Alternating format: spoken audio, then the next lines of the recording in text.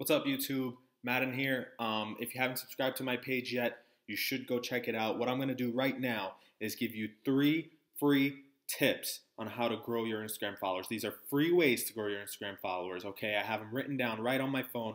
I'm just going to read them off to you, maybe explain them a little bit, okay? Like I said, if you want more information like this, it's all on my YouTube channel. Go check it out, subscribe. It's just at Madan Bhola. That's my YouTube. My IG is the same thing. I'm giving away great content. All right, so let's get right into this. The first one is search hashtags and like, bomb, and comment. Okay, this is simple. If you're in the motivation niche, your page is about motivation. You're gonna go into the search bar of Instagram and you're gonna type in hashtag motivation.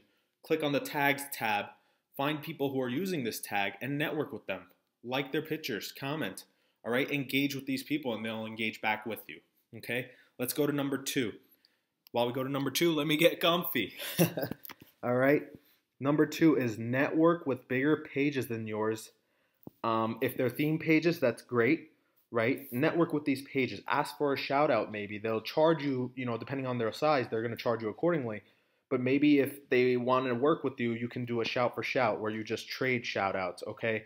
That works with, with pages that are around the same size as your page, okay? That's the second way.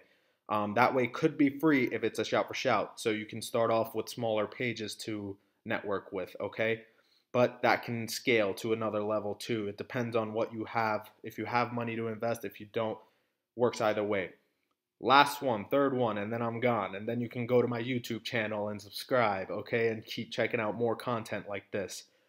The third one is find pages in your niche and engage with their followers, okay? It's that simple.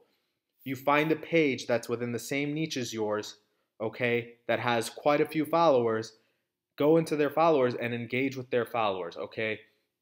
This is a great way to gain a following and gain an, gain an audience that is actually interested in what you have to offer, what your page has to offer, okay? So try these three things. Try them right now. They literally do not take too long to do, okay? When you go on Instagram, start doing stuff like this, okay?